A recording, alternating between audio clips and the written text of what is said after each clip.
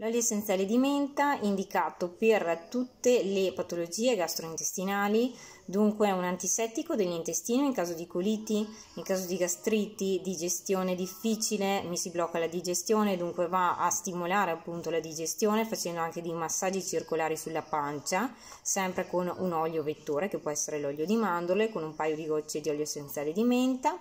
Può essere indicato per meteorismo, aerofagia, flatulenza, eh, vomito e nausea che può essere inalato con un fazzoletto, un paio di gocce in caso di eh, viaggi in aereo, in macchina